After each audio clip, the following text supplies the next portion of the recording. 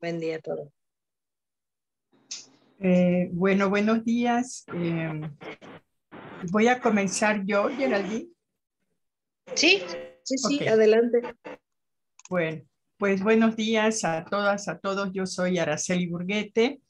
Eh, mi trabajo es ser profesora investigadora de un centro de investigaciones que se llama CIESAS, Centro de Investigaciones y Estudios Superiores en Antropología Social eh, tiene varias sedes en Monterrey, este, Guadalajara, Oaxaca, etcétera. Y yo estoy en San Cristóbal de las Casas, en Chiapas. Y desde acá voy a transmitir. Eh, bueno, yo tengo una, eh, una trayectoria de trabajo de muchos años en el tema de pueblos indígenas y sus derechos, y al revés también dicho, los derechos de los pueblos indígenas, de tal forma que este tema de, la, pues de, la, de las curules de los pueblos indígenas en el Congreso local, pues es un tema que de entrada eh, irrumpió en Chiapas porque en 2018, que fue el momento cuando eh, comenzó la primera acción afirmativa de derechos de pueblos indígenas, pues eh, en Chiapas ocurrieron eh, todas las usurpaciones eh, de, que se presentarían después. Digamos que Chiapas fue eh, un, un, lugar en donde detonó de manera muy visible porque eran cinco candidaturas. Entonces, después de eso,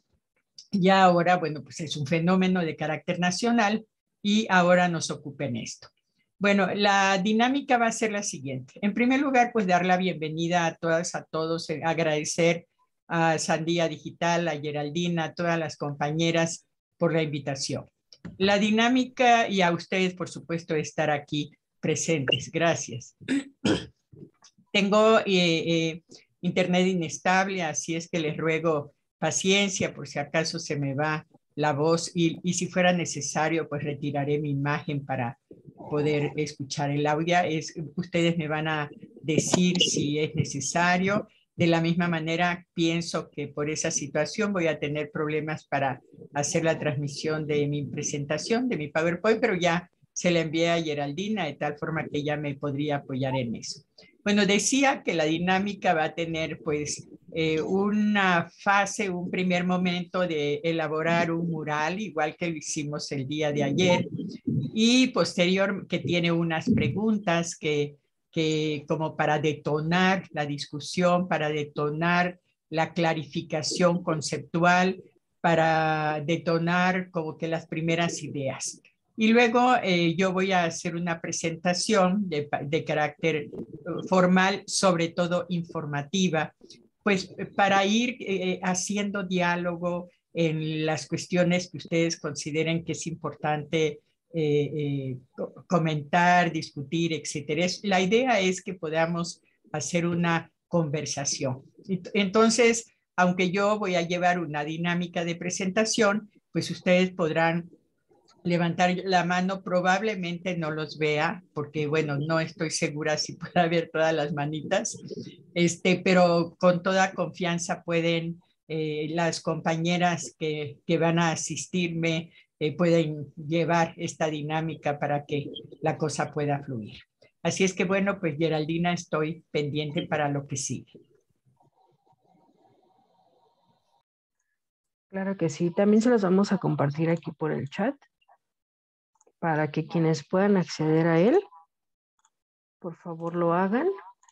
Es un mural así como el que trabajamos ayer Igualmente, si no les es posible o si se complica un poco por la conexión, eh, pues pueden dejarlo en el chat y con mucho gusto lo vamos integrando, ¿vale?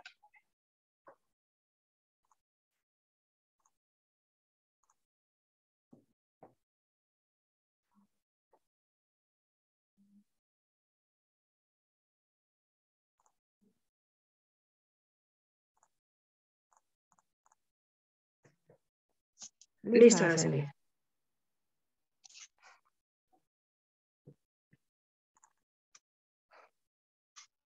No, les, no lo escuchamos, Araceli. Eh, Geraldina, si me ayudas, porque no alcanzo a leer. No lo escuchamos. Claro. Claro. Decía que si me ayudan, así, eh, ok, sí, eso es mejor. Bueno, parte de la, del debate que tenemos ahora, seguramente varios de ustedes han sabido o han tenido conocimiento que en este momento el INE está realizando dos, dos, llamémosle consulta porque así le llaman ellos, porque la primera eh, observación sería que no se está cumpliendo los estándares internacionales de un consentimiento libre, previo e informado, que es un proceso largo.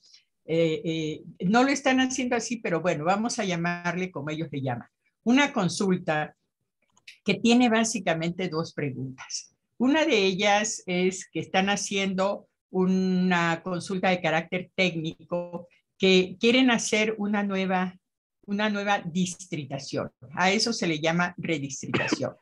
Y esto es así porque eh, cada resultado de censo, en este año tuvimos un censo de 2020, eh, se hace una redistritación porque en los los, distritos buscan, es un clúster, una concentración de población que busca eh, equilibrar de, la, la, población para que cada voto pese de la misma manera, por decirlo de alguna manera.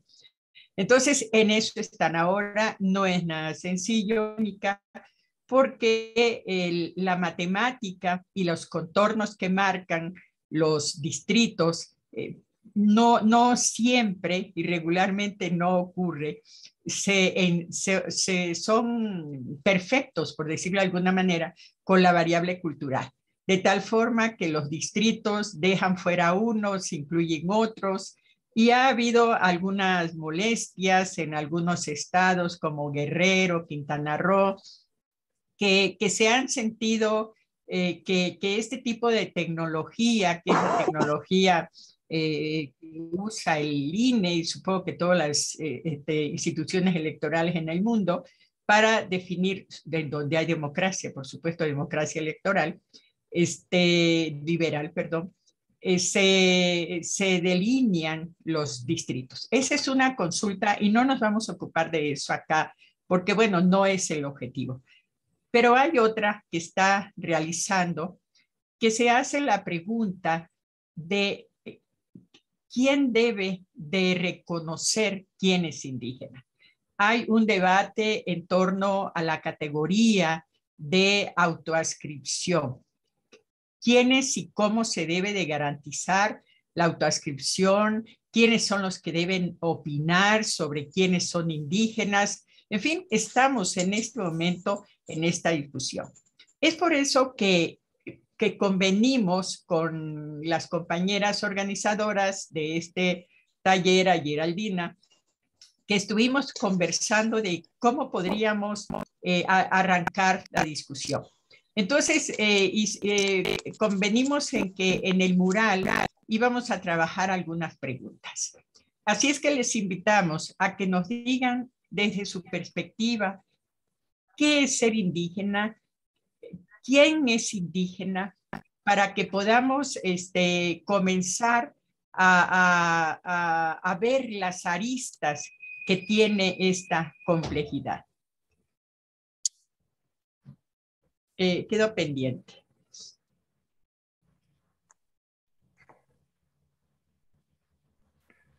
Aquí hay compañeras y compañeros que ya están ingresando al mural. Eh, como les repetía, si se complica en cierto momento ingresar a esta página y poner su comentario, em, lo pueden dejar por el chat o expresarlo verbalmente y lo vamos anotando.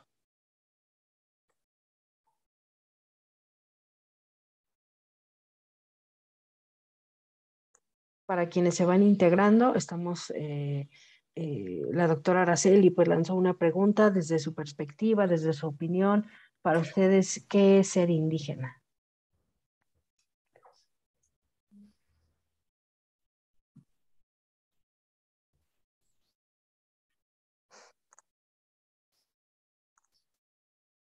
La,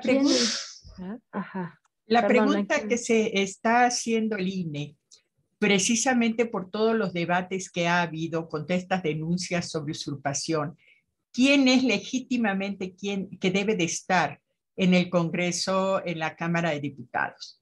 Hay 30 curules para pueblos indígenas y sin embargo eh, queda la duda de saber si las personas que están allí representan a, los colectivos indígenas.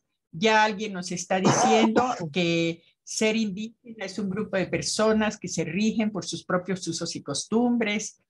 Eh, aquí dice ser hija o hijo eh, de indígena, o sea, estar apelando a la herencia biológica, crecer hablando la lengua indígena, refiere a la variable eh, lingüística.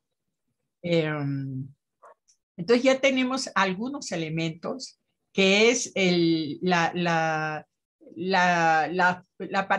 participar en una forma de organización que son lo que se llama eh, los usos y costumbres, que son formas particulares de organización social en las comunidades y que cada una de ellas tiene su propia particularidad. Em, nos hablan, nos dicen que formar parte de un grupo originario es un ser humano, eh, apenas leo esto, que pertenece a un grupo originario. Ya estamos leyendo dos, eh, dos opiniones que refieren a pueblos originarios. ¿Y quién es el pueblo originario? Aquel que es primero en tiempo y derecho. Acuerdo de que los pueblos indígenas existen antes de la formación de los estados nacionales. Esa es la noción de pueblo originario. No, las leyes en el marco internacional recoge la categoría pueblo indígena, pero eh, porque eh, hay todo un debate de más de 30 años en torno a esta categoría y resulta complicado ahora modificarlo a pueblo originario, pero estamos hablando del mismo sujeto. Em, eh, casi no alcanzo a leer porque están muy pequeñas. Ser indígena es tener las raíces, conocer las costumbres y tradiciones, compartir las ideas de nuestro pueblo y sobre todo convivir con nuestra comunidad. Entonces vamos viendo los elementos que hay acá, que son eh, eh, pertenencia a sus, no es solamente hablar una lengua indígena, nos dicen por acá, sino también ser parte de un pueblo originario, una cultura propia y reconocer, reconocer que se pertenece a ese grupo. Entonces, aquí entramos ya en la discusión. Reconocer yo, Araceli, que pertenezco a un pueblo o que el pueblo me reconozca a mí que yo soy parte de este pueblo. Ahí está la dialéctica, el nudo del debate que hay en este momento. ¿Basta con que yo me reconozca que soy indígena o es necesario que alguien me reconozca a mí que yo soy indígena para que yo pueda representar? Eh, ser indígena es tener las raíces, pertenecer a un pueblo originario, que pertenece a un territorio. Por eso eh, eh, el, el tema de la representación es territorial. Y básicamente estamos hablando de 21 distritos de mayoría relativa que están colocados en los distritos electorales de mayoría relativa, aunque también recientemente se ha incorporado una nueve eh, diputaciones, eh, eh, curules, fórmulas de em, que es este, los diputados plurinominales que les llaman, ¿no? Los representación proporcional. Entonces. La interrumpo tantito. Este, nos estás dejando ver sus conversaciones de WhatsApp. Es la pantalla que está presentando. ¿Yo? No, porque yo no tengo. Es que yo no tengo WhatsApp en mi máquina, entonces no soy yo. Ok, no, ya ahorita ya estamos volviendo este, a ver el muro. Gracias. era el mío. Disculpa. Entonces, este, decía que tenemos pues un pueblo originario cuyo origen se remonta antes de la colonización y que conserva elementos como la lengua, tradiciones y determinados territorios. Bueno, es decir, estos son todos los elementos. Fíjense, este grupo que tiene en este momento 70 participantes, eh, la cantidad de opiniones que hay respecto a qué ser indígena, quién es indígena, y estamos justo en este momento en la discusión de qué es el, qué, cómo construir un estándar para que el INE, que es la institución responsable de garantizar los derechos de los pueblos indígenas en materia electoral, de representación de la diversidad, pueda tener a este... Eh, aquí, por ejemplo, nos dice Slava, estoy viendo un comentario, dice, es hablar mi lengua indígena. Acá tenemos algo eh, muy interesante porque cuando hablamos, cuando se ha abierto la usurpación, el debate sobre usurpación, hay muchas opiniones desde Chiapas, desde Oaxaca, desde Guerrero, que dicen, bueno, pues es tan sencillo. Indígena es aquella persona que habla una lengua indígena. Así se decía antes, así contabilizó el INEGI durante muchos años eh, la pregunta de hablante de lengua indígena, pero ahora es mucho más complicado porque eh, eh, se puede ser impugnable si se establece en la norma que es indígena únicamente si hablas la lengua indígena, porque hay muchas personas que se autoascriben indígena que no son hablantes. Entonces, bueno, como vemos, pues la cosa es complicada. Alguien dice eh, es hablar la lengua, pero otro, alguien más dice no es necesario hablarlo, y alguien dice para mí es reconocer mi identidad. Eso se llama autoascripción.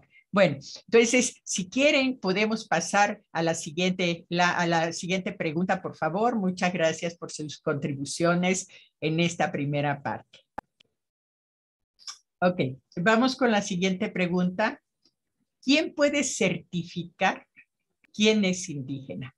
¿A quién le corresponde decir si esta persona es indígena? No, esta persona no es indígena. Y en qué ámbitos, ¿verdad? Porque eh, eh, eh, esta discusión de quién es indígena probablemente no es una pregunta que esté en la vida cotidiana. El problema es, como ya se dijo ayer, la, este, cuando alguien quiere representar, cuando alguien quiere obtener beneficios, cuando alguien quiere que mediante la identidad quiere tener un reconocimiento de algo o para algo. Eh, ahí es donde la situación se complica, porque en la vida cotidiana las personas no están preocupadas por decir si alguien es indígena, no es indígena, simplemente se vive. Pero cuando en la discusión de si es una persona indígena, irrumpe cuando llega al terreno de la política y al terreno de los beneficios para ocupar espacios, para obtener becas, para tener algunos beneficios. Ahí es donde irrumpe la discusión de la legitimidad y de la legalidad. Por eso la pregunta es, ¿quién puede certificar quiénes indígenas? La, dice por acá, las personas de los pueblos originarios. ¿Cómo le podemos hacer que las personas, por ejemplo, si hay dos millones estas personas tienen que certificar o cómo podría ser, dice, le corresponden en todo caso a la comunidad a la que se dice pertenecer por medio de la asamblea. La asamblea es eh, una, una instancia, una institución, un espacio de validación de normas, tiene el, este, estamos viendo una pantalla por ahí, creo que es, gracias.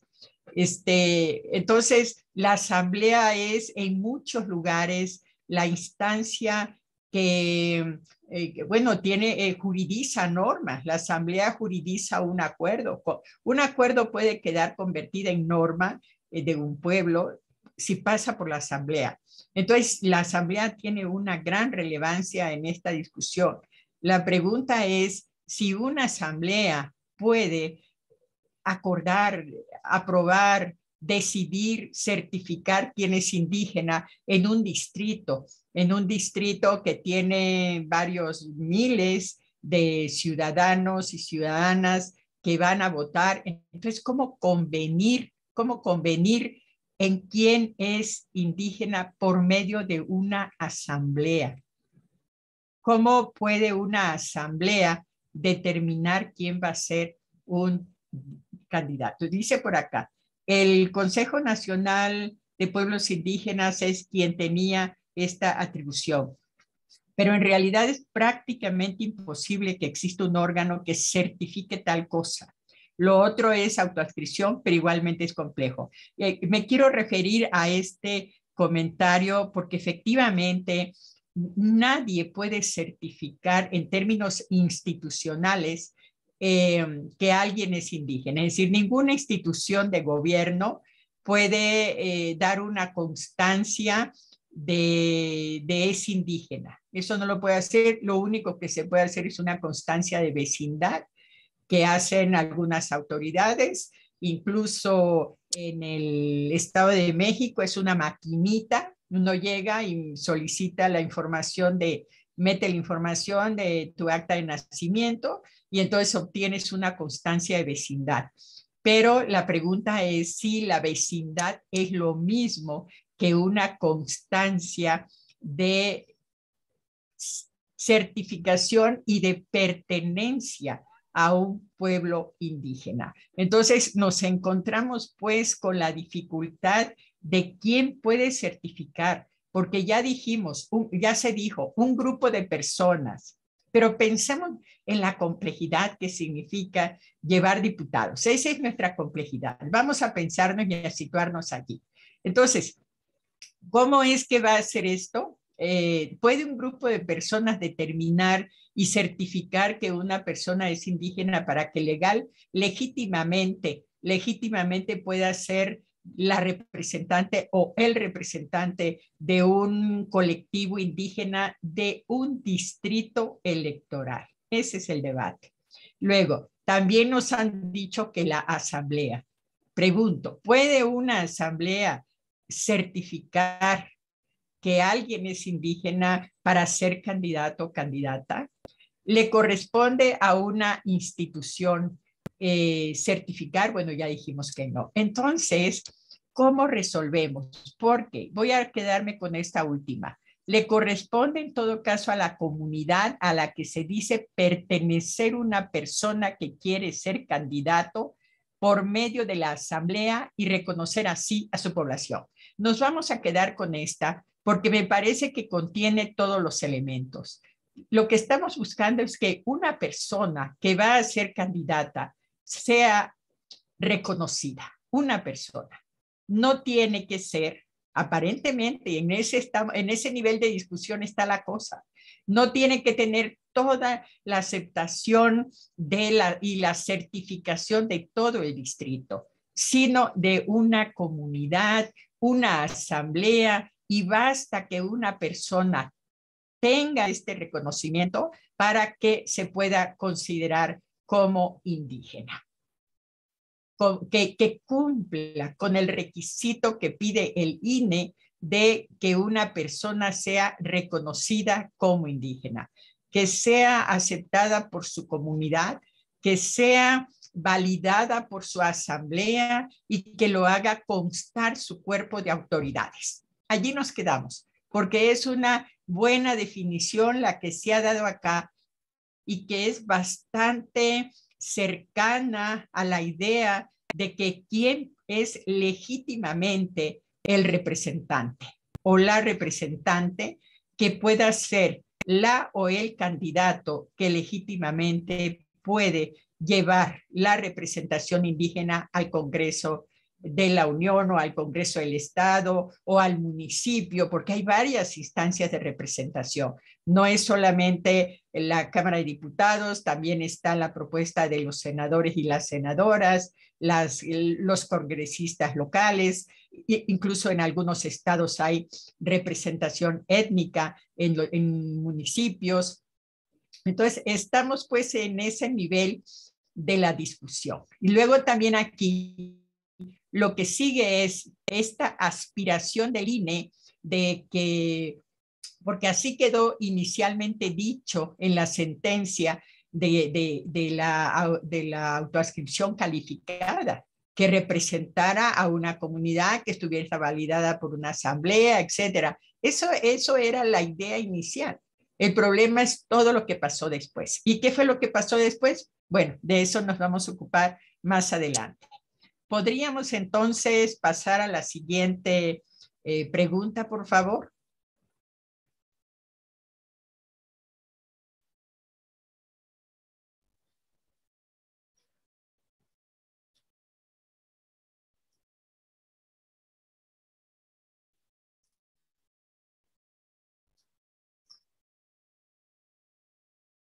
Bueno, llegamos al terreno de la autoascripción calificada. Vamos a ver con detalle qué es lo que dice la sentencia del INE que establece la, ah, perdón, la sentencia del tribunal que establece la autoascripción calificada como una manera de resolver y, y decir con claridad quién es indígena. ¿Por qué fue necesario esto? porque años atrás, cuando comenzaron la incorporación de la, los, los diputados con pertenencia étnica, le vamos a llamar así, que los partidos políticos tenían la obligación, no, no era obligación, tenían la recomendación, es que ese es el problema, inicialmente tenían la recomendación y ya después la obligación. Ya, ya cuando es acción afirmativa es obligación, pero antes tenían la recomendación de que en los distritos hubiera diputaciones indígenas. Y entonces allí eh, varias personas decían yo soy indígena o se le reclamaba al partido político, tú no has llevado a personas indígenas al, al Congreso y el partido decía, sí, claro que sí, X persona es indígena, pero habían otros que decían, no, él no es indígena o ella, bueno, ella no existía, regularmente eran ellos, él no es indígena. Y entonces entró el debate de quién es indígena. Esta discusión que acabamos de, de, hacer hace un minuto tardó años. Estamos hablando desde el 2004 hasta apenas el 2018. Entonces, en esa, en esa discusión de, de quién es estuvieron los partidos políticos evadiendo la responsabilidad. Hasta que se dijo, bueno, dado que es, y, y, entonces las personas decían, no, yo soy indígena porque legalmente yo puedo hacer mi definición de que soy indígena porque la ley me protege, en efecto, la autoascripción está protegida por la ley, es un derecho constitucional, incluso eh, este, el convenio 169 de la OIT también protege, es decir, tanto constitucional como convencionalmente, la autoascripción eh, es un principio eh, jurídico. Y el, el este, la, fue impugnado porque inicialmente así había quedado en la sentencia. Pero esto fue impugnado porque asociaciones, actores dijeron, no, no cualquier persona que se diga indígena es indígena. Entonces, el, el, la, ¿cómo lo resolvió la, la, este, el tribunal? Lo resolvió creando la categoría de autoascripción calificada. Y eso quiere decir que la persona que se quiera presentar como candidato o candidata de un distrito indígena tiene que contar con validaciones escritas. Eso se llama el vínculo efectivo, es decir, que tiene que probarlo y probarlo de alguna manera a través de constancias. Y ahí es donde comenzó el problema de lo que se ha llamado el mercado de constancias, porque se comenzaron a vender constancias. Hubo un mercado, aquí en Chiapas fue muchas las eh, asociaciones, organizaciones, pero también hubo denuncias de otros lugares en donde se convirtió en un mercado, había venta de constancias, porque vamos a ver más adelante que la cancha para decir yo soy indígena es muy amplia muy amplia. Por eso hay eh, muchas categorías para probar que es indígena y muchas personas que pueden probar que es indígena. Y entonces vemos cómo se despegó de la idea inicial que ya vimos en la, en, la pasada, en el pasado, la pasada, digamos, la, el pasado ejercicio para decir que era la comunidad, la asamblea y la pertenencia.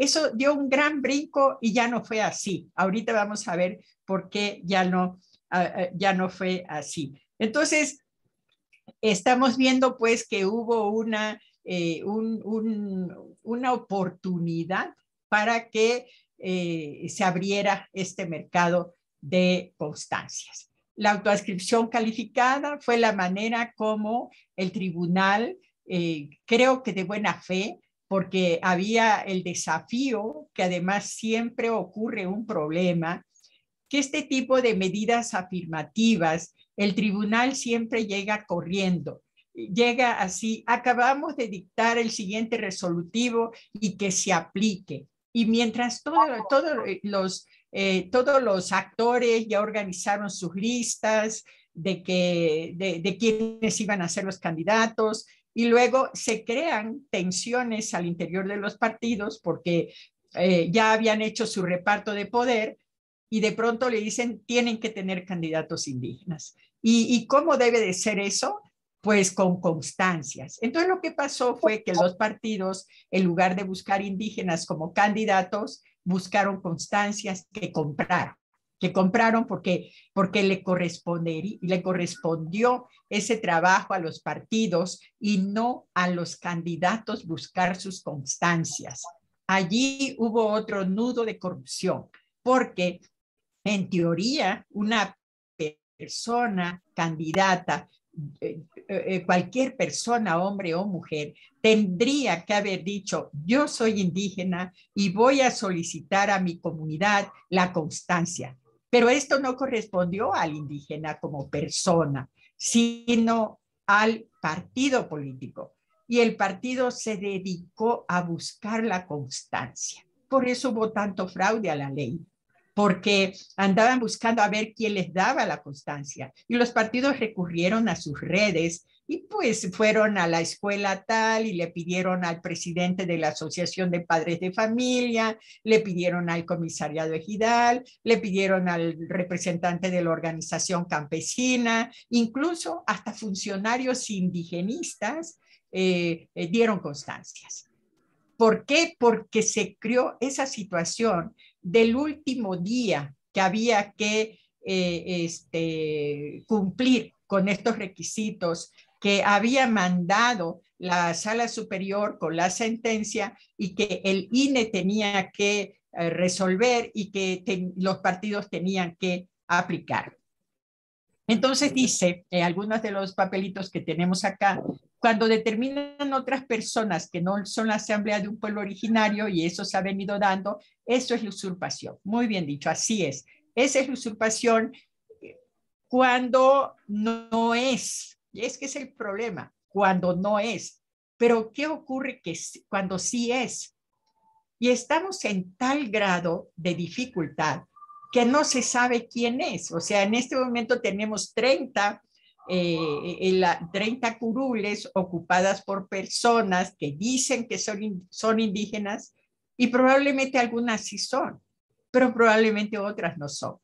Entonces, ¿por qué? Porque no hay certidumbre seguimos exactamente igual que hace 20 años, el 2004, cuando este, la duda estaba de quién es indígena. Dice algo por acá. Cuando determinan otras personas que no son la asamblea, eh, se, se, tapa. A ver. Eh, sí, efectivamente, dice acá, se está usurpando identidad, se pierde la representatividad, Nuevamente, los pueblos indígenas somos excluidos de la participación ciudadana y política. Se transgreden los espacios discursivos que corresponden a las comunidades indígenas. Bueno, en fin, vamos a, eh, vamos a quedarnos con la idea que efectivamente aquí es el terreno en donde se produce la usurpación, en la autoascripción calificada. Y lo que intentó ser una solución se convirtió en un problema.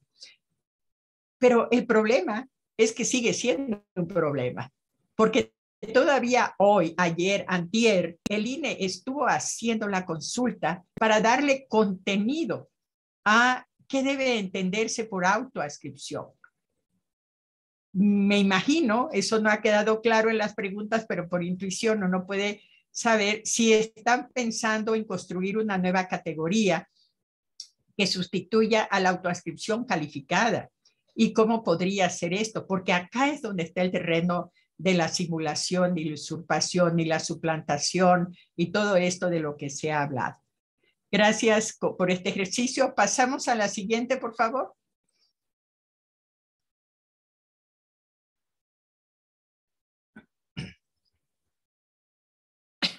Ok. Esta es la última. ¿Cuáles requisitos debe de cumplir una persona para obtener una candidatura indígena? Ya es una, una lámina que contiene ya propuestas en el sentido de cuáles debe, cómo debería de ser legítimamente una persona que sea candidata indígena que represente un distrito, un distrito. ¿Cómo podemos hacer lograr que la persona candidata pueda efectivamente ser la quien esté eh, representando legítimamente a su pueblo.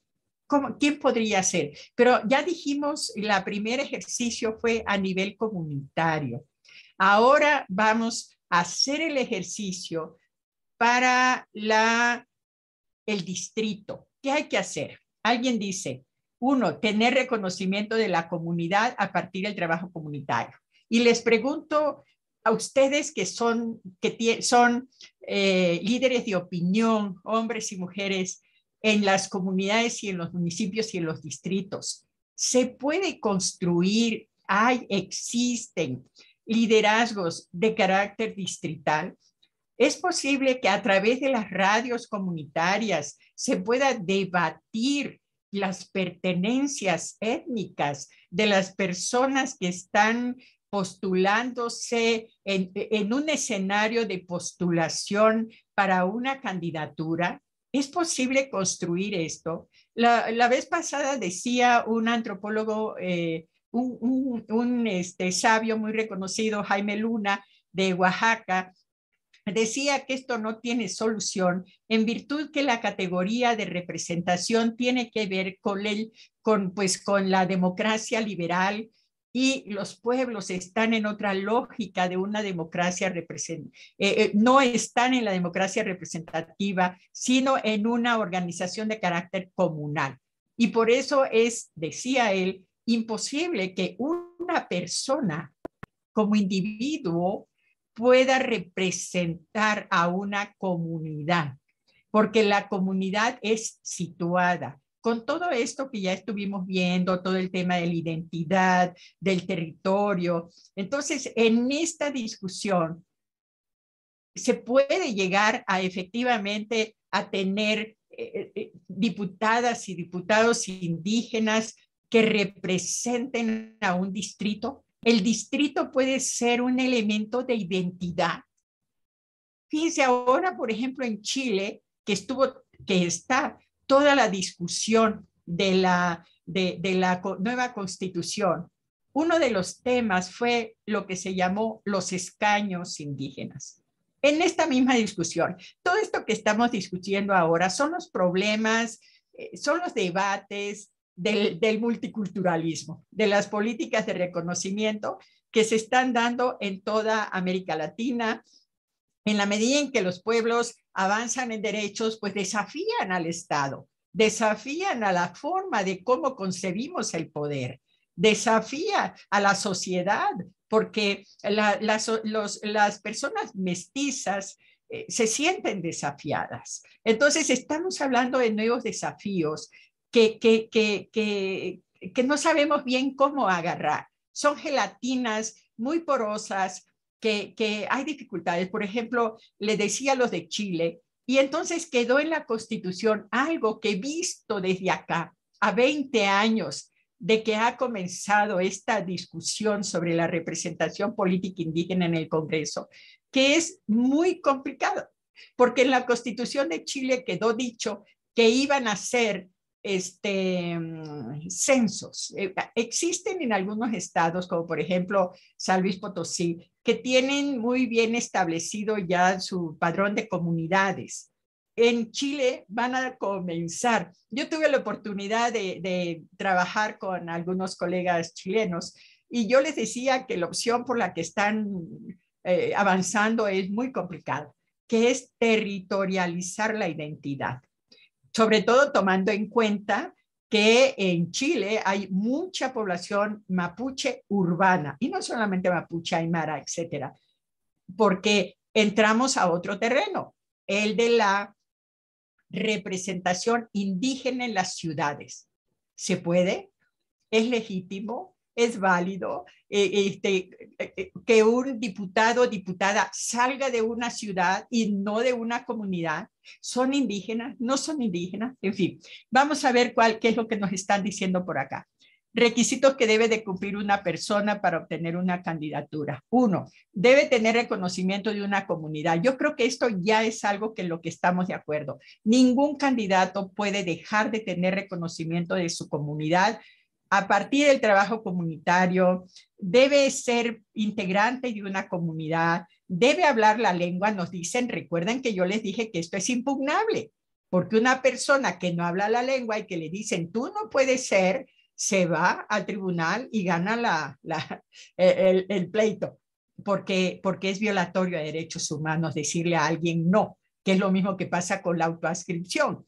No se le puede decir, tú no eres indígena. ¿Qué ha ocurrido? Cuando uno va, identifica a una persona y dice es que ella o él no es indígena, uno se arma de toda su paquetería de derechos que uno tiene y va al tribunal y dice, es que nosotros tenemos el derecho a, la, a la representación política indígena auténtica.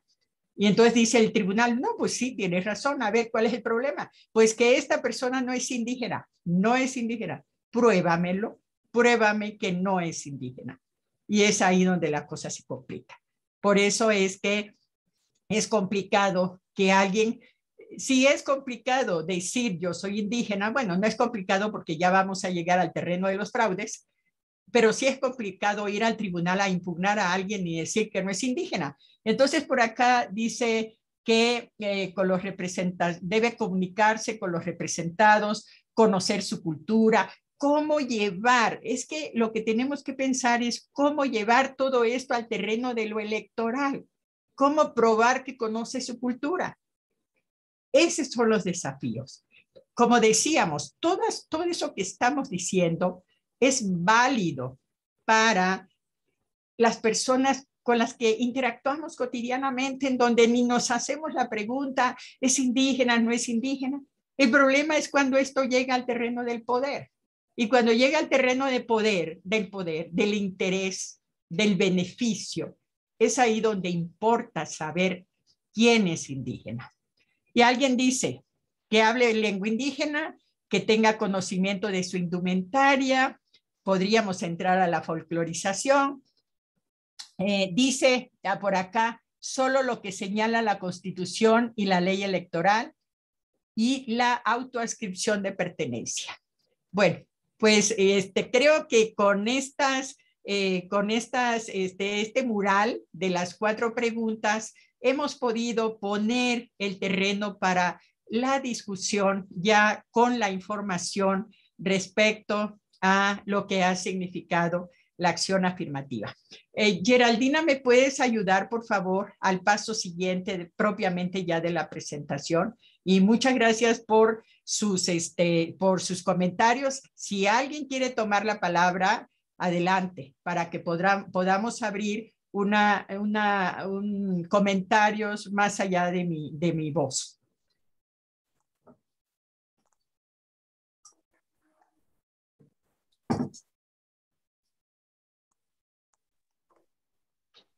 Este, Manuel, luego Marcela. Manuel Shang Wicca. Y después Marcela, por favor. Chabeles, ¿cómo están? Hachmalo King, muy buen día Les saludo desde la XHNKA, la voz del gran pueblo de Felipe Carrillo Puerto, Quintana Roo. Estoy escuchando con mucha atención cada una de las, eh, de, las de la explicación eh, con relación a este, a este tema de quién debería tener ese, ese reconocimiento indígena para poder participar en una contienda para un cargo de elección popular. Es un tema, híjole, muy, muy complejo porque se maneja los, la cuestión patriarcal, eh, sistema patriarcal, y empezando por este tema de la cuestión patriarcal, si todavía es difícil que un hombre indígena ocupe un cargo de elección eh, popular, imagínense una mujer indígena, es todavía eh, más difícil, eh, los desafíos son, se multiplican tal vez. Este, y por otra parte, ayer mencionaba que nosotros estamos debatiendo y poniendo sobre la mesa estos temas de análisis que están eh, influenciando y afectando nuestras comunidades mayas, en mi caso, y que eh, es muy complejo porque aspirar a un cargo de elección popular está en chino, porque la mayor parte de las, los cargos de elección popular eh, son, son controlados o son dominados, son secuestrados, por decirlo así, por grupos políticos y pues los grupos políticos son quienes eh, tienen esa, ese poder de decidir a quién nombrar como indígena y a quién no. A ellos este, se les ocurre eh, decir, este, bueno, a mí me parece que esta está bien para candidata indígena. Bueno, vamos a candidatearla, le financiamos la campaña y ya. Entonces, nosotros que tenemos la capacidad, porque sí lo tenemos, en las radios indígenas habemos muchos hombres y mujeres con esa capacidad de conocimiento, de reconocimiento de desde la lengua maya, desde el conocimiento de la cultura, desde la situación y la condición en la que viven las comunidades indígenas, somos quienes palpamos directamente esa situación, eh, todavía más directo que los que están allá en los municipios, en las alcaldías, eh, quienes eh, solo están allá por una por la un color de moda, por un partido de moda y no realmente por lo que eh, debe de ser y que lo que estamos ahora platicando, analizando, este, híjole, ojalá que tenga un seguimiento y que tenga algo este, concreto, materializado, tal vez, que podamos eh, mirar con más claridad y podamos este, pasar, de la, pasar de la, del análisis a, la realización de las acciones. Gracias. Muchas gracias, Manuel. Es la siguiente intervención de Marcela, luego Consuelo. Si quieren, dejamos aquí. Connie, dejamos tres, pasamos a otra y luego vamos haciendo así de tres en tres. Adelante, Marcela. Muy buenos días.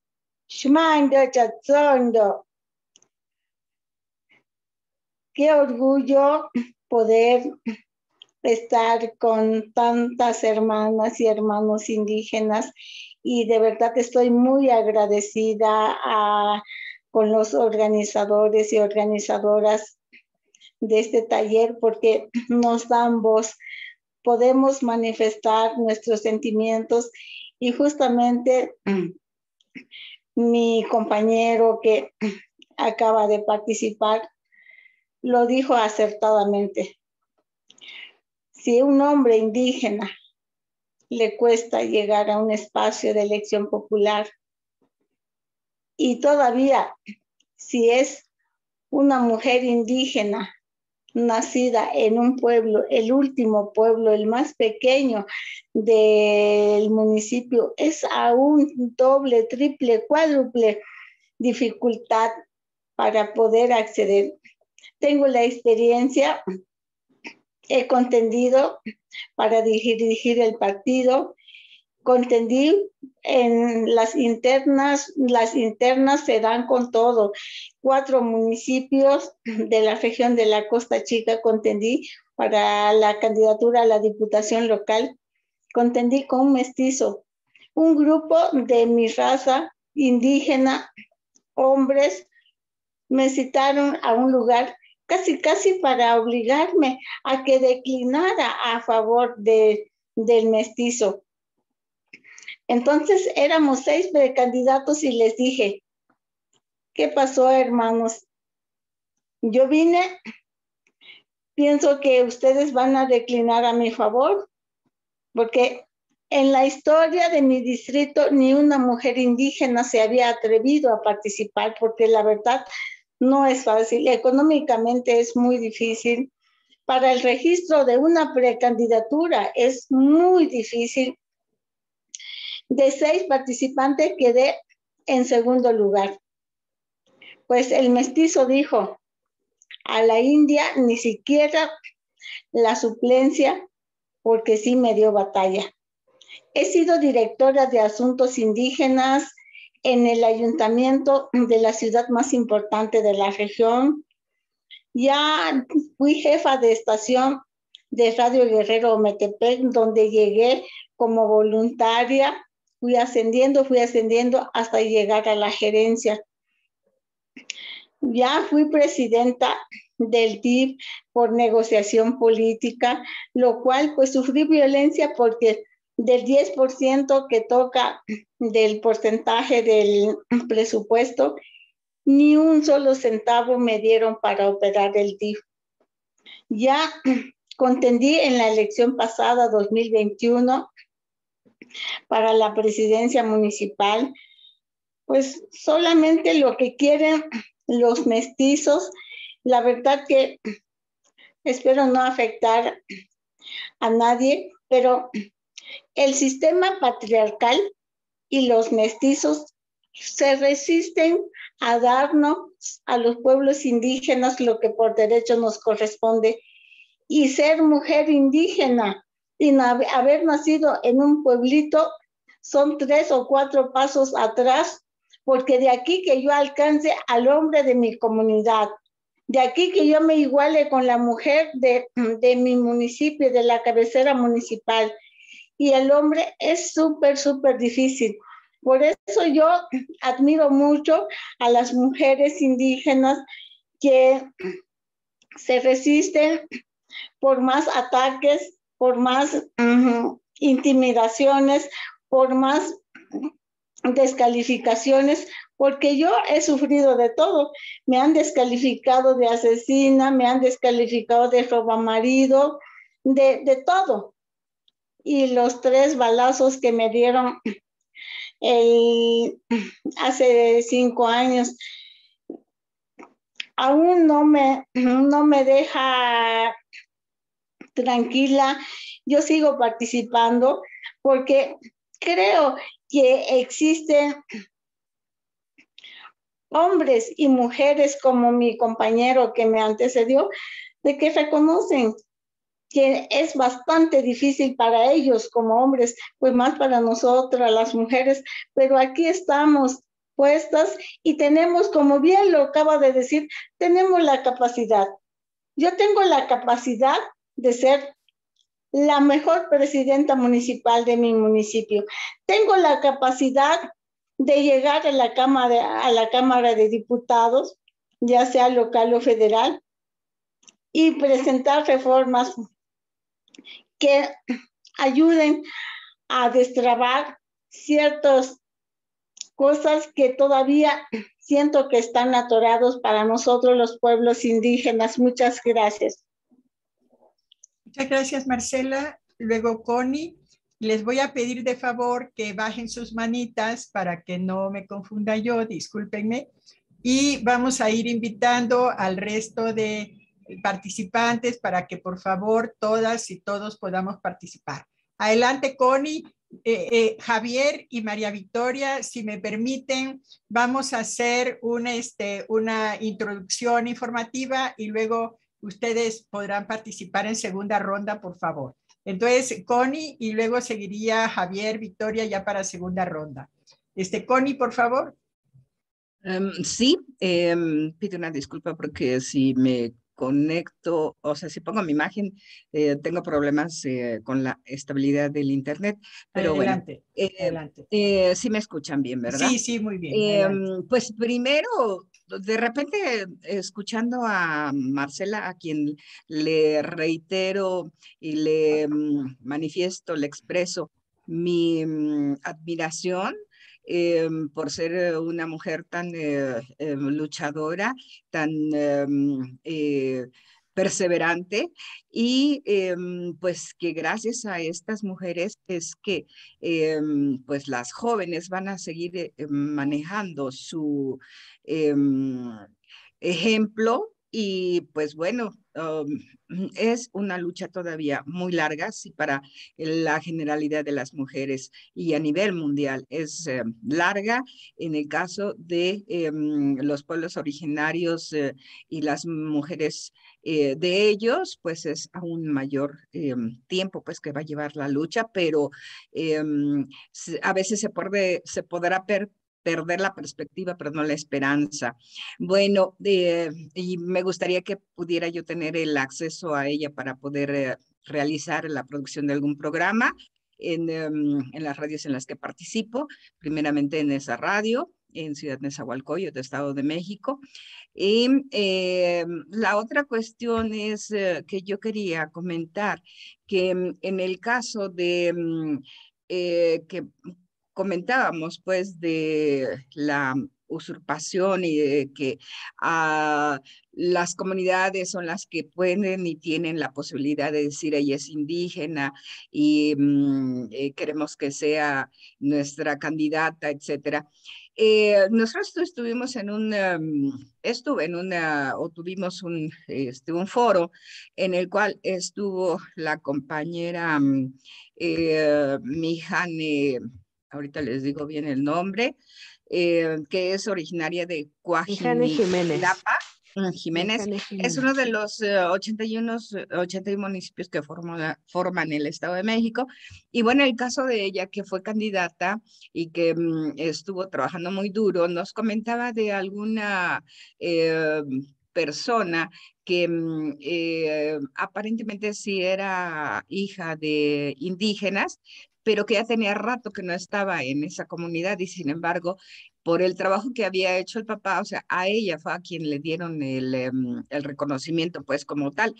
Y entonces ante esto, este es otro problema muy importante, ¿no? O sea que, ok, soy de ahí, tal vez, o sea, cuento con la, em, con el orgullo de hablar la lengua, pero ya no estoy ahí y no he hecho trabajo por X tiempo, en mi comunidad y entonces aún así me dejan como candidata. ¿no?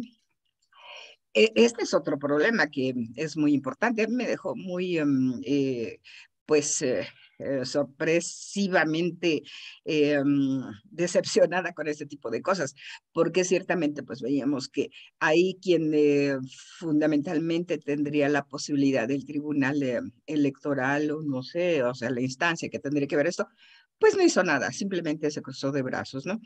Y entonces este tipo de cosas, o sea, las hemos tenido pues, em, eh, pues o sea, tenemos el ejemplo de ella o el eh, testimonio de la compañera Mijane, ¿no? Que, mm, nos, que fue muy, muy uh, eh, fructífero escucharla, ¿no? A partir de ahí fue que supe esta parte de la usurpación, pero pues bueno, ¿no? Eh, esa sería, este, pues la cuestión que a mí me causa mucho, o sea, mucha pues poca esperanza pues para este tipo de cosas. Y bueno, ya escuchamos también al compañero de eh, que antecedió a Marce, en donde dice, si nosotros los hombres con toda esta situación eh, pues eh, mm, que tenemos con ser indígenas, va a ser muy difícil, pues él mismo dice, las mujeres pues va a ser mucho mayor el problema, ¿no? Pero sí tiene que ver fundamentalmente con, em, pues sí, las instituciones, sí, em, lo que se tenga que escribir en las, este, de ley, pero acuérdense que muchas veces la ley está en blanco y negro y en la realidad no se dan las cosas, ¿no? Por ahí incluso el compañero mm, Javier Espinosa ayer decía, pues sí, pero por eso hay que organizarse, hay que participar y hay que participar incluso en los partidos, ¿no? Pues sí, o sea, hay que seguir organizados, ¿no? Pues eso sería todo. Gracias. Muchas gracias, Connie. Bueno, este, Javier, María Victoria, les voy a pedir de favor que nos aguantemos tantito para la segunda ronda de intervenciones. Este, yo voy a pasar a la parte eh, propiamente expositiva. Eh, me asignaron este tema y con todo gusto aquí estoy para compartir. Este, si me ayudan, por favor, a pasar la lámina. Bueno, primero quiero decir, y para un poco para dejar la esperanza, y decirle a Connie que, que efectivamente estamos en una, un terreno de dificultad, pero qué bueno estar en este terreno de dificultad porque salimos de la nada, porque antes no había nada. Todavía en 1996, cuando se hicieron los acuerdos de San Andrés, el tema apenas comenzaba a plantearse. En el año 2004 apenas se hizo la primera redistritación que incorporó la variable eh, étnica, que visibilizar que hay distritos indígenas. Eh, entonces, venimos de cero, venimos de cero de tal forma que el hecho de estar el día de hoy, en 2022, eh, cuestionando procedimientos que ocurrieron en el 2021 y, y, que en el caso de Chiapas, que se ventiló desde el 2018, porque hubo, hay cinco distritos indígenas, es el, uno de los municipios que más distritos indígenas tiene, uno de los estados, perdón. Entonces, eh, aquí lo que, lo que en, mi, en mi punto de vista, lo que tenemos son desafíos. Lo que tenemos son desafíos y qué bueno que se abren estos espacios a iniciativa del, este, de las compañeras organizadoras Sandía Digital y del INE en el ejercicio de los recursos públicos. Entonces, bueno, el punto de partida, eh, como para ponerle fecha, en realidad las luchas indígenas eh, las luchas de la sociedad en, lo general, las luchas de las mujeres por, por, sus derechos políticos y electorales, pues son muy antiguos. Pero vamos a ponerle, y hay conquistas, hay conquistas. Las mujeres hemos venido poco a poco avanzando en nuestros derechos. Lo mismo pasa con los pueblos indígenas. Y vamos a ponerle la fecha de los acuerdos de San Andrés, porque allí fue en donde quedó establecido como uno de los acuerdos que iba a haber un reconocimiento a los derechos político-electorales. Y recordarán que fue hasta el 2001 cuando se hizo la reforma constitucional, pero allí en el cuerpo constitucional, en las fracciones A y B, no quedó incorporada este derecho sino que se, en un tercer transitorio quedó dicho, quedó la instrucción de que se haga una redistritación electoral en donde se incorporara la, variable étnica y allí eh, hubo dos componentes para hacer esta redistritación que se realizó en el año 2004 y que fue la fuente de ese momento que era ser hablante de lengua indígena es indígena aquel que habla una lengua indígena. Ya después, como ya comenté, este requisito ya no es este, eh, aunque el, sigue siendo un dato de, de, superar. Recordarán que en el 2015 hubo otro esfuerzo para que no fuera la variable hablante de lengua indígena la que determinara si eres indígena o no. Ese sigue siendo un terreno complicado. Pero bueno, se hizo la redistritación y se determinó que eh, eh, dentro de los 300 distritos que como se organizó el país, en 28 de ellos se identificó que habrían 40% de población indígena y por lo tanto quedó categorizado como distritos indígenas. La siguiente, por favor. Todavía sigue siendo una duda de por qué eh, estos son los distritos, no vale la pena detenernos en ellos porque no los vamos a ver, solamente quiero decirles que están allí y que sigue estando la, deuda de por qué solamente 13 distritos fueron los que fueron, eh, eh, fueron categorizados como iban a ser los distritos que iban a tener diputadas y diputados indígenas si son, en, si son 28, ¿por qué solo 13 quedaron en el, en el 2004? Y luego ya en ahora, 13 en el 2018 y ya ahora 21. Pero es progresivo. Nosotros esperaríamos que para el, el próximo 24, pues ya sean los 28 distritos indígenas, aunque el argumento es que estos son 40% y no 60 como ahora establece la, este, la acción afirmativa. La siguiente, por favor. Entonces, estamos pues en un momento de progresividad de derechos. Aquí eh, eh, eh, voy a detenerme un poco que este, en, en, este largo momento, en este largo tramo entre el 2004 que se hace, 2001 que se mandata que se haga, 2004 cuando se hace y qué pasó entre 2004 y 2017, que es cuando ya se aprueba la acción afirmativa del INE que, este, que tiene que dar cumplimiento a todos estos acuerdos legales, particularmente a la reforma al artículo segundo. El, problema fue que se dejó la libertad a los partidos. Es lo mismo que pasaba con las cuotas de paridad, no se les que, no había, que, no había un compromiso de parte de los partidos políticos de incorporar a las mujeres como diputadas, 40%, 60%, toda esta, eh, eh, los porcentajes que, este, que, que se establecían, 30, 70. Entonces, esta, estos porcentajes no fueron, eh, no fueron cumplidos, sino que fue necesario que se hiciera la acción afirmativa eh, que mandató el, este, el tribunal en, con el subrad 00726-217, diagonal 217, en donde se manda la acción afirmativa y como ya se dijo ayer, las acciones afirmativas pues, son medidas temporales. Entonces hay una expectativa, por eso el escenario que comentaba con Connie, que a donde habría que llegar es entonces a una reforma constitucional, igual que, eh, igual que los derechos político-electorales de las mujeres se, fue, se, incorporó, se incorporó a la constitución, ya no como una acción afirmativa, sino como un principio jurídico.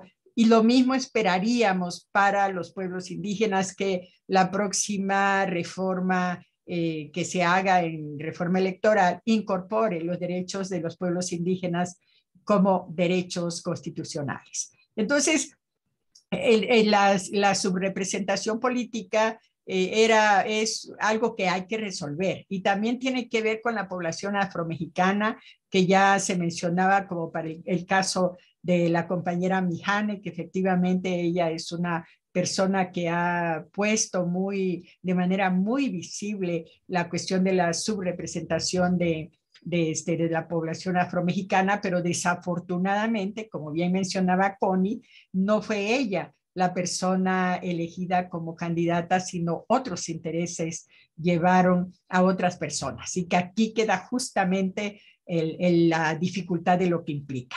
Y este, eh, entonces nos quedamos con que en el, en el 2018 hubo 13, en la siguiente, por favor, en el, ya fueron 21 distritos. Eh, estos fueron los estados que tuvieron los 13 distritos del año 2018. Ustedes pueden ver que Chiapas tuvo 5. Por eso fue tan, tan visible la denuncia, porque además las personas que fueron puestas como candidatos y hombres todos, este, eran funcionarios de alto nivel del gobernador. Y del gobernador de ese entonces, Manuel Velasco, recurrieron a una serie de triquiñuelas, las, las cuales fueron ampliamente documentadas. No hubo, no hubo desinformación al respecto y sin embargo no pasó nada el tribunal no, este, no, no, no, no le quitó la, este, el, el, registro a estos candidatos. Y entonces allí quedó el mal precedente, el mal precedente de que pues todas estas eh, asignaciones pueden ser usurpadas por personas como ha estado ocurriendo, ahora menos, por lo menos de cinco ya son dos, pero en lo general eso pasó en el, este, en el, en el proceso de 2018. La siguiente, por favor. Luego, para el 2021, se aumentaron este, a 21 distritos. Ahí ya, por ejemplo, Oaxaca ya tiene cinco distritos ahora, lo cual es, era una gran omisión que antes no tuviera, dada la cantidad de población indígena que tiene Oaxaca y por qué Chiapas sí tenía, Oaxaca no. En fin, había muchas preguntas que ahora se han ido subsanando parcialmente, sobre todo tomando en cuenta los 28 distritos que ya se sabe cuáles son y en dónde están. Y al mismo tiempo, una novedad para la pasada elección del 2021 fue que se aumentó, ah, se creó, no había antes, este, diputaciones eh, en representación proporcional. En todos estos casos se debe de cumplir de manera obligatoria con la paridad de género.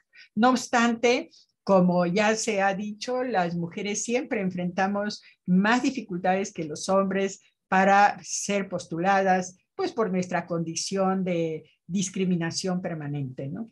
Entonces, eh, estamos allí en, esos son, así estuvo en el 2021. La pregunta es si este mapa se va a modificar para las elecciones del 2024. Ese es en el número. Ya estuvimos viendo en el fondo, en, cuando estuvimos trabajando con el mural, qué es lo que puede pasar en términos de, de, de, de, de la categoría de autoascripción, que es lo que nos ocupa ahora.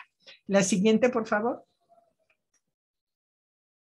Ok, entonces, eh, cuando, cuando se el INE planteó la, necesidad de una acción afirmativa de que, llevara diputados indígenas, diputadas y diputados, pues fue también, se tardó muchísimo, tomen en cuenta que fue hasta 2017 cuando el INE reaccionó, mientras que la reforma, el tercero transitorio fue en 2001. O sea, se tardó 15 años o más para que el INE reaccionara. ¿Y cómo fue que reaccionó? Bueno, pues ustedes recordarán que hubo un escándalo mediático en donde fueron representantes indígenas a decirle, oye, nuestros derechos son tales, y que el consejero presidente se burló de ellos, hizo una mofa. A partir de allí, vamos a ponerle comillas, gracias a a ese escándalo mediático. El INE dijo, ¿what? ¿Qué es lo que está pasando acá? ¿Por qué yo no estoy reaccionando a esto? Y bueno, pues hubo una serie de actores, incluyendo eh, pues la ONU y otro, otro tipo de actores que le dijeron al INE que estaba este, incumpliendo con las normas constitucionales y convencionales con relación a este tema hay que decir que las organizaciones indígenas habían estado insistiendo mucho de que había una omisión legal, sobre todo tomando en cuenta que desde el año 2011 eh, el artículo primero constitucional se había modificado para garantizar los derechos humanos constitucionales y convencionales para todas y todos. Había esta omisión total que, bueno, hasta 2015, cuando las elecciones de 2015, ya el INE se comenzó a preparar a lo que iba a ser la acción afirmativa. Y lo hizo realizando distintas reuniones, distintos talleres en algunos estados para poder ver cómo se resolvía. Y hay que decir que en ninguno de ellos se mencionó la autoascripción calificada. Hay memorias de esos documentos, yo los he revisado todos, y en ninguno hay la posibilidad de la autoascripción calificada, pero sí se menciona se menciona la autoascripción es indígena aquel que se auto, autoascribe como indígena. Eso dice la ley y eso era lo que decía. Y en esa, en esa omisión, bueno, pues este, comenzó a planear lo que sería su acción afirmativa, estableció en ese momento 12 distritos, eh, no de los 28, solo 12, pero fueron al tribunal. Lo que decía la redacción del INE era lo que ya decía, la autoascripción simple, que es, es indígena, aquel que dice que es indígena, punto. Y fueron, fueron distintos actores al tribunal, impugnaron y dijeron que era insuficiente, que había habido en la historia de los, eh, desde de la historia desde 2004 hasta 2015, había habido usurpación y suplantación. Entonces, el INE intentó resolverlo y emite la sentencia SUBRAC, eh, bueno, la que estoy mostrando acá, en donde se crea la categoría de autoascripción calificada. ¿Y en qué consiste esta? La siguiente, por favor. Eh, lo que decían los partidos cero es, bueno, pues mm, no es posible saber quién es indígena, es indígena aquel que dice que es, punto. Eso es el criterio de autoascripción simple. Incluso hay jurisprudencia de sala superior de tal forma que, es difícil tumbar esa autoascripción simple y que a alguien se le diga, tú no eres indígena porque, pues porque, porque no eres. Entonces, eh, cuando se va al tribunal, bueno, pues hay que probar que efectivamente no es. Entonces, eh, el criterio de autoascripción simple, pues es la, basta que una persona afirme una identidad indígena para que se le reconozca como tal. Esto dice la jurisprudencia, fue impugnada y el tribunal reaccionó haciendo dos cosas. Uno, que aumentó de 12 a 13 y creó el criterio de autoascripción calificada. ¿Qué significa eso?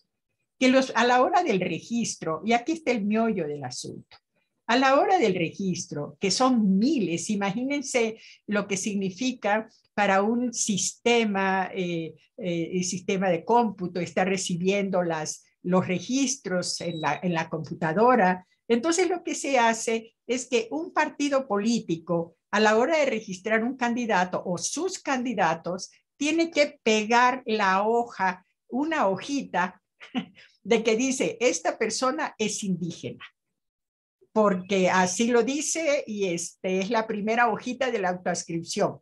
La segunda hojita es porque lo prueba fulanito, fulanita de tal. ¿Y quién debería ser ese fulanito, fulanita de tal?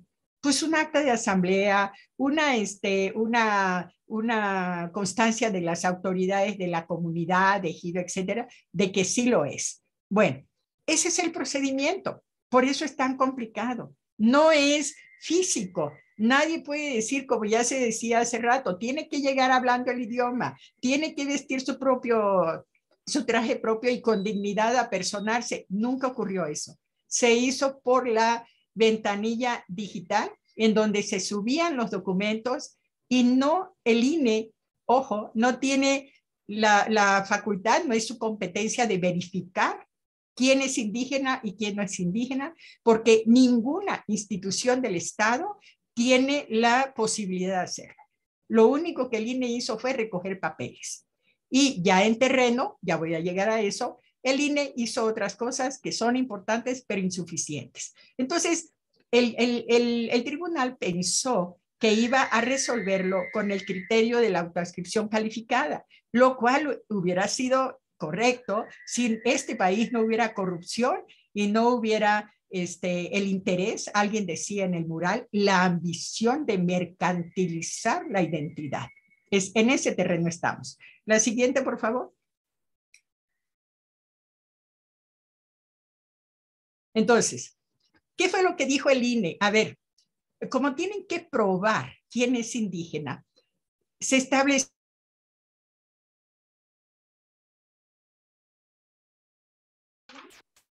ah, se le va un poco el audio, vamos a ver que está, no tenía tan buena señal. Este, alguien está. Ahí está, listo, adelante. Sí, gracias. Decía que los cuatro criterios o elementos objetivos el, candidato o candidata tenía que probar alguna de las cuatro cosas con una hojita. Ser originario o descendiente de la comunidad. Todo esto con papeles. Y contar con elementos que acrediten su participación, etc. Eso podría ser una. La otra es haber participado en reuniones de trabajo. Imagínense cualquier funcionario o funcionaria que participe en reuniones de trabajo que tienen, eh, tienden a mejorar dichas instituciones. Y lo grave adicional es que para resolver conflictos, eso es un señalamiento racista de que los actores que se involucran es a resolver conflictos. Luego, también, haber prestado servicios comunitarios, la comunidad, población, ojo, población, ¿qué es la población? Un municipio, un distrito, porque además dice también distrito indígena. O sea, la persona no tiene que servir a la comunidad solamente para reconocerle su estatus de indígena, sino cualquiera que vive en un distrito. No importa si, por ejemplo, eh, el distrito del que forma parte, no sé, la, población, la comunidad de la que nació, es originario, etcétera, sí es del distrito, porque esto es un dato importante. Tú eres impugnable si no eres del distrito, si no eres del Estado. Acá nosotros tuvimos un caso, una diputada, eh, la diputada Patricia Más, que ella quiso contender con, como diputada local en el distrito de Bochil, pero era impugnable, porque, y fue fácil bajarla, porque era de Monterrey. Pero cuando es del mismo distrito, es muy difícil que, que, este, que pueda decirle, oye, pues es que tú no nos representas, entre comillas. Y eso fue, es otro criterio. Y también ser representante de alguna comunidad o asociación indígena. La asociación que quiera, la asociación de comerciantes de tal, la asociación, en fin. Si ustedes ven, el terreno de la representación se redujo a todo. Ya no era, como dijimos en la primera hoja del mural, de quién es indígena. Ya no era aquel que tenía la comunidad como referente, a sus autoridades, a sus padres, a sus madres, a sus abuelos, toda su genealogía, su pertenencia. No, ya no era así, sino ahora era que todas estas posibilidades. La siguiente, por favor. ¿Y, qué, ¿Y en qué momento nos encontramos? Bueno, pues un fraude a la ley. ¿Qué es lo que hizo posible la usurpación y la plantación de la identidad indígena? El fraude a la ley es un concepto jurídico que en el terreno de los abogados quiere decir que tú cumples aunque incumplas. Y eso en ese momento nos encontramos. Un fraude a la ley generalizado. La siguiente, por favor. ¿Y cómo es que ocurrió? Bueno, pues ocurrió porque mientras la primera intención del tribunal era que quien emitiera la constancia sería la autoridad comunal, ejidal, etcétera, eh, eh, ellos eran las personas autorizadas. Después lo abrió tanto, o se, se, que bueno, dice que las constancias serán expedidas por las autoridades comunales existentes eh, en la comunidad o población indígena, pero, y solamente leo el rojo, o cualquier otra con representación conforme al sistema normativo vigente en la comunidad. Si ustedes son de los pueblos originarios, pues saben muy bien que los sistemas normativos son casuísticos. En ningún lugar hay los mismos sistemas normativos. E incluso esto es un, así es el derecho indígena casuístico, puede modificarse de un día a otro y pueden crearse nuevas normas, nuevas instituciones, etcétera, de tal forma que, la siguiente, por favor, lo que resultó fue un gran fraude a la ley. Lo que tenemos acá es una, este, yo hice una investigación con documentación del INE porque me encontré con la buena suerte que llegó a mis manos un documento en donde el INE estaba debatiendo estos temas. Les llegaron un montón de registros y los resultados fueron así. Yo hice muchas gráficas, solamente les presento esto. Las constancias fueron que es originario de la comunidad, es originario del municipio, tiene ascendencia indígena, ha colaborado con la comunidad y es vecino de la región. ¿Y quienes lo emitieron? Bueno, no se puede ver con mucha claridad, pero fueron las, los comisariados, las organizaciones sociales, etcétera. ¿Se dan cuenta? Ahí fue donde la cosa se pervirtió. La siguiente, por favor. Bueno, luego, para acabarla, eh, o sea, uno por eso uno piensa y duda, ¿no? El fraude a la ley es la suma de todo, porque resulta que hay un recurso de apelación y juicios para la, que, en donde el propio tribunal, en, un, en una sentencia, ordena al INE tutelar la posibilidad de que cada persona registrada como candidata pueda solicitar la protección de sus datos.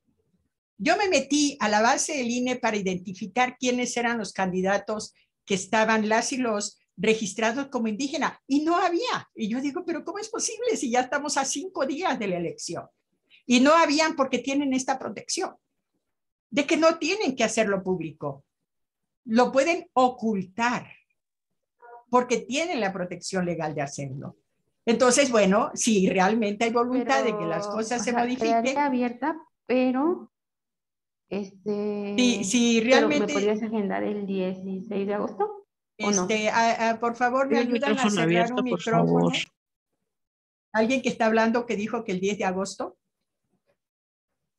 Ok, entonces estábamos diciendo que este tipo de cosas son los que favorecen el fraude a la ley. Porque ¿cómo es posible que las personas que son candidatas puedan vivir escondidas en el closet sin mostrar que están representando a las categorías vulnerables? Porque entramos a un terreno, la siguiente por favor, entramos a un terreno del fraude generalizado porque eh, no solamente fueron, como ya lo dijo Connie, indígenas, las personas fraudeadas, sino también todas las categorías que hubo en este a juego, que fueron las personas con, con capacidades diferentes, las personas afromexicanas, ahora veremos eso. Entonces voy a ir cerrando esta parte diciendo que las cuando las personas indígenas se indignan y dicen, pero ¿por qué esta persona eh, eh, me va a representar a mí? Van con toda su paquetería de derechos a impugnar al tribunal y siempre pierden. Siempre pierden porque la constancia que dio el presunto o la presunta, pues está en el marco de la legalidad, que le dieron una constancia. ¿Quién se la dio? Pues los que dice la ley sobre la base de qué? Pues que dice que resolvió un conflicto y este, y entonces, se dan cuenta, es, el, el problema es no solamente los oportunistas o las oportunistas, como ya se dijo en el pasado mural, sino que la ley lo permite. Y ahí se tiene que hacer un cambio. Ajá.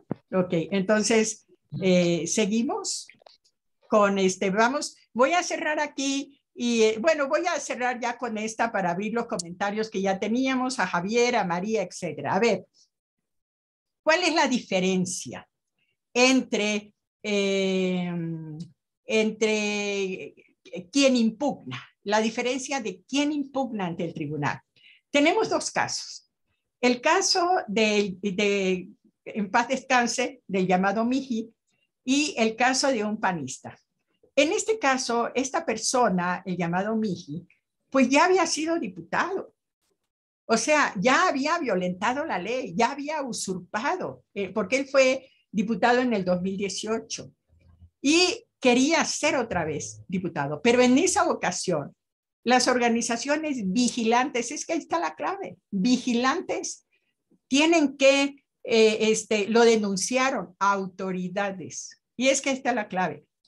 Cuando una persona va e impugna, no va a ganar. No estoy diciendo va a, perder, va a perder, no va a ganar. Pero cuando un grupo de autoridades dice, esta persona que dice que es de Tanlajas, estoy poniendo ejemplo, eh, dice que es de Tanlajas, nosotros, las autoridades, venimos a decir que no es. Por eso es muy importante que desde las radios ojalá se quite esta secrecía de estar encerrados en el closet.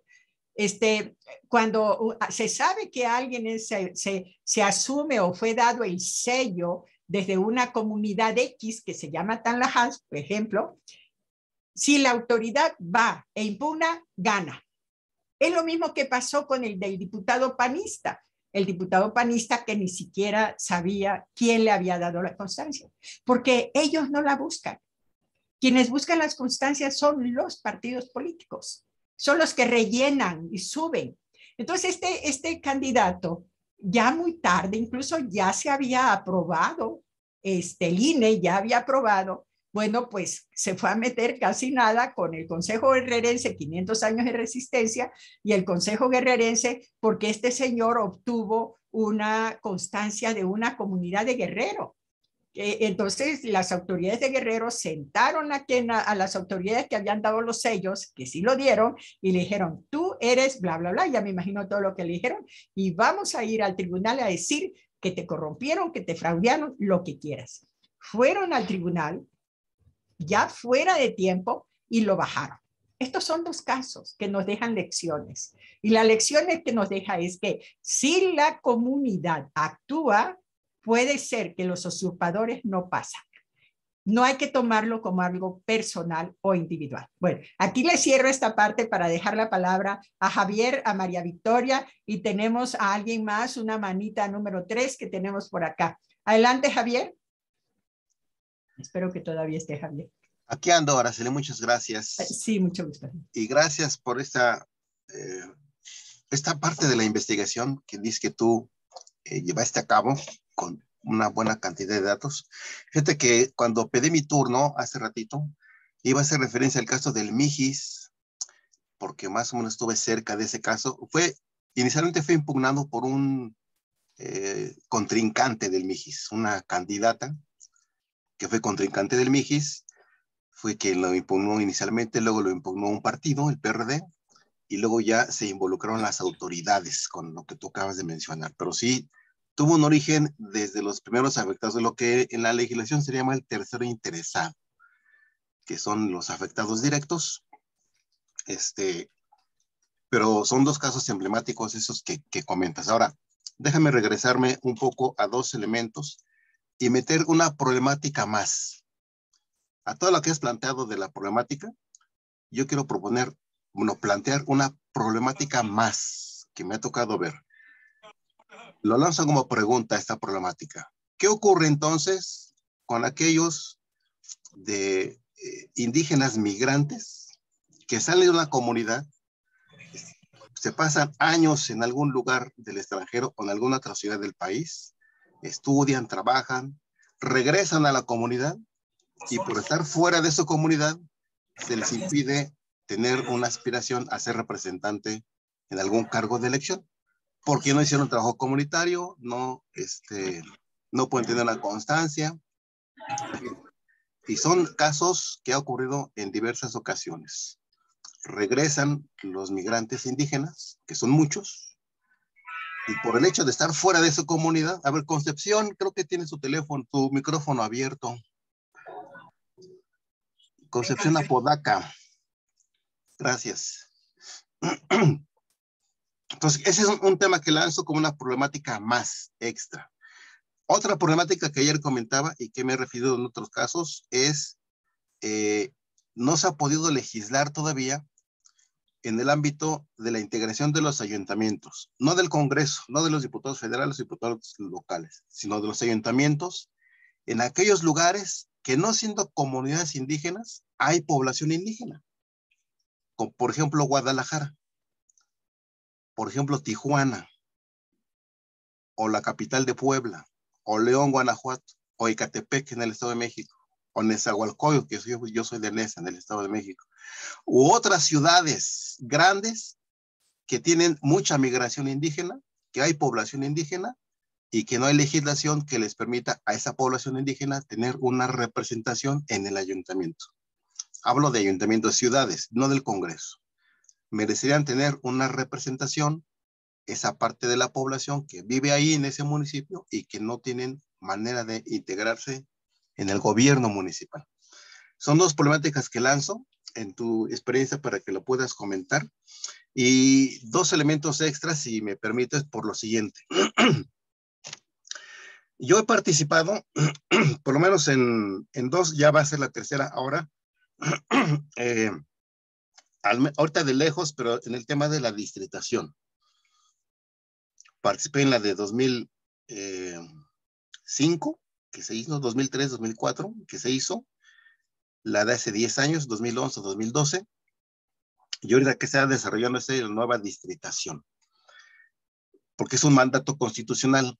Cada 10 años, cada que hay censo, tiene que eh, diseñarse los nuevos distritos porque los distritos federales, donde se eligen los diputados federales, representan a la población. Entonces, los distritos deben tener un rango muy homogéneo de representación poblacional. De ahí sale el tema que comentaste, porque en términos de la, de la ley, tiene que haber distritos con predominancia indígena, que ha sido un debate complicado, porque inicialmente se dijo, a ver, del 10%, el 10% de la población se reconoce que es indígena según datos del INEGI, por lo tanto, debiera haber por lo menos el 10% de representación política en el Congreso de la Unión, en la Cámara de Diputados en concreto, como distritos mayoritariamente indígenas y con representación indígena. Entonces, esta problemática siempre nos ha llevado a que eh, los distritos que ahorita comentaste, donde tienen población de mayoría indígena, eh, hay distritos que no tienen población de mayoría indígena, pero hay indígenas. Y entonces esa población también tiene que analizarse en términos de ver que esa población indígena en distritos no indígenas también debe ser representados.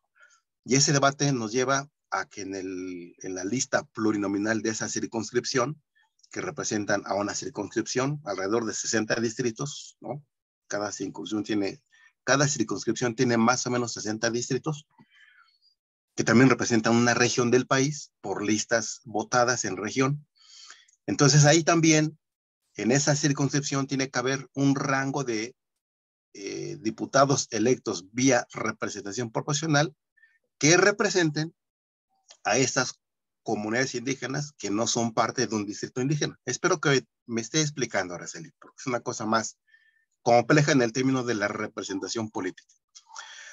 Y el otro elemento que quiero meterlo para mayor complejidad del tema es que sí requerimos analizarlo al menos en tres ámbitos, el tema de la representación indígena en los diversos cargos, que en concreto serían los congresos, el federal, los congresos de los estados y los ayuntamientos.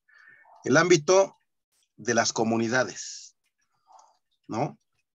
Eh, que me parece, creo que necesitamos una legislación que le permita a todo el tema de la representación indígena en asambleas, en comunidades, tener un mínimo piso legislativo que permita iguales de derechos a todos. Eso no hemos avanzado, se ha impedido avanzar porque se ha respetado mucho el tema de los autogobiernos en ciertas comunidades, no en todas, pero sí en varias comunidades.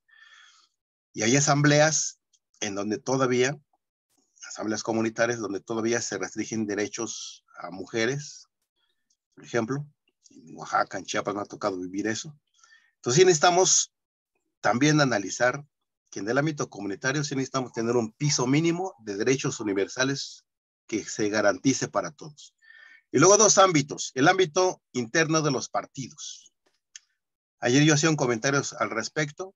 Yo soy convencido que eh, mientras no nos inmiscuyamos en la vida interna de un partido, vamos a seguir eh, dejando la, vida política como está el país, ¿no?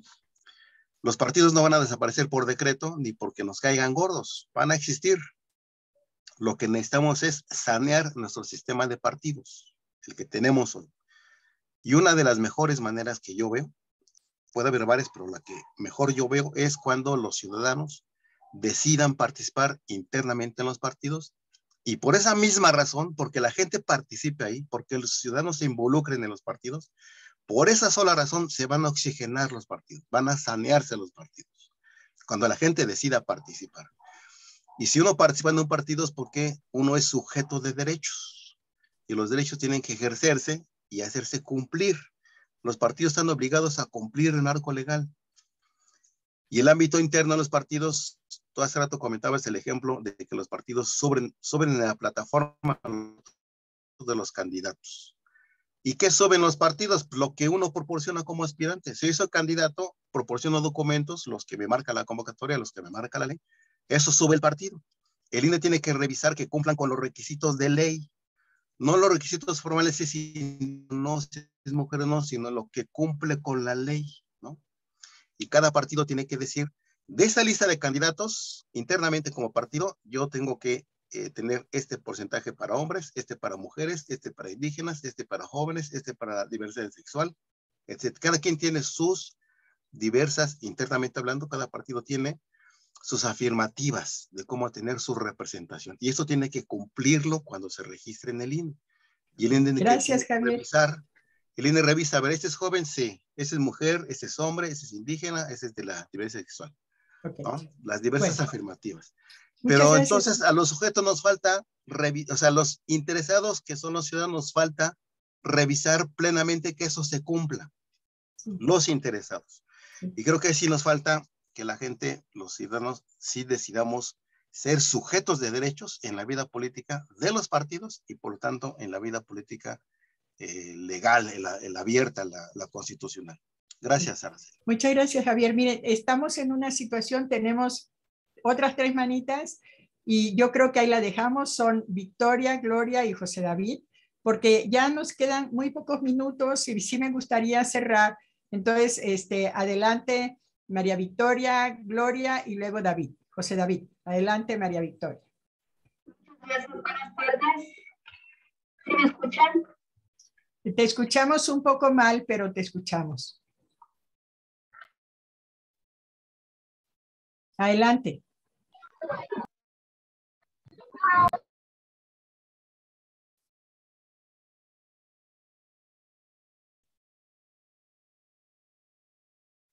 Eh, María Victoria, ¿estás allí?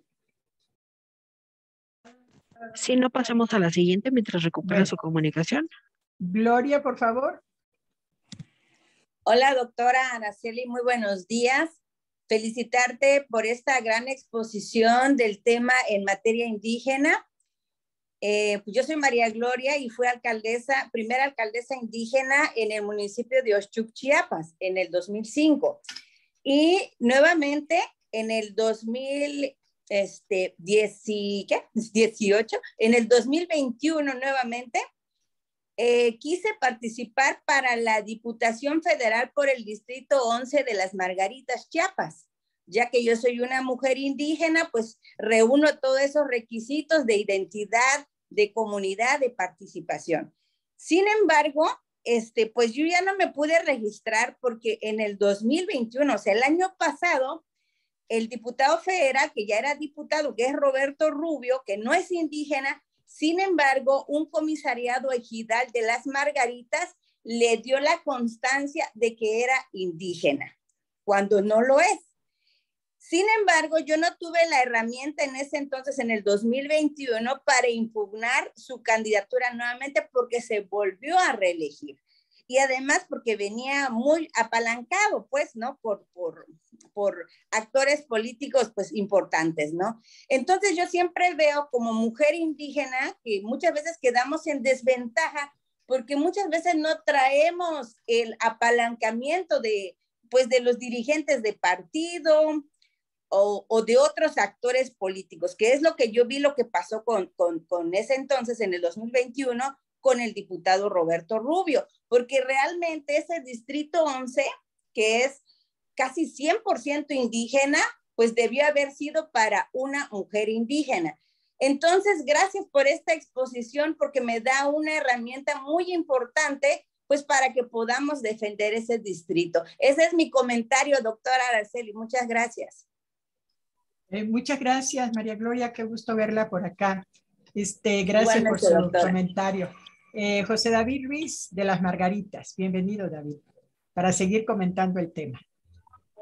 Muchas gracias, eh, doctora. Eh, siempre un privilegio escucharte. yo quisiera plantear una, una, pregunta, ¿no? Más allá de las situaciones de denuncia que pudieran eh, darse respecto a esta serie de usurpaciones que se han tenido eh, de manera tan cínica como la de este, eh, ya el citado diputado Rubio. ¿no? Este, más bien, ¿qué rumbo pudiera tomarse? Ahora se está dando también el proceso de la consulta de nombre previa, libre, informada y con toda la ausencia culturalmente adecuada y de buena fe, ¿no?